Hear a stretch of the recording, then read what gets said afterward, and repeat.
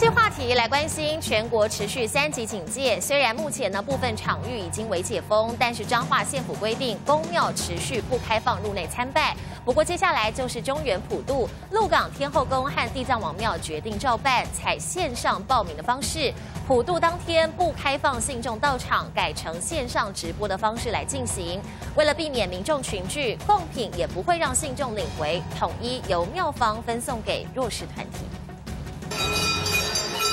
每到农历七月鬼门开，信众都会准备丰盛的贡品，祈求平安。不过受到疫情影响，不少寺庙纷纷喊卡，但不少人还是认为好兄弟不拜不行。在彰化鹿港天后宫和地藏王庙，还有彰化市供奉玉皇大帝的元清观，决定照办，采线上报名。普渡当天不开放信众进场，改以网络直播进行。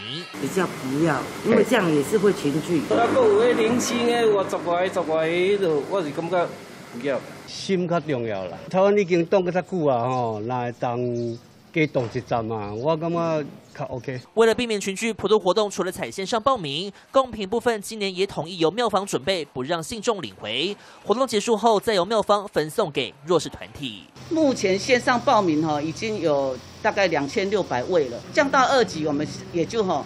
可以哈，诶，室外可以九十九人哈，稍微可以哈来现场报名。我们的招标工作仍然照常举行，然后规模就会看那个疫情部分来进行调整。全国防疫目前维持三级警戒为解封，所以疫情趋缓，七月二十六号有望降为二级。公庙普渡活动是否开放民众入内参拜？庙方表示将一桩决策滚动式调整，毕竟疫情当前，健康平安最重要。普渡宴请好兄弟，信众有心就好。借代容貌彰化。参不到。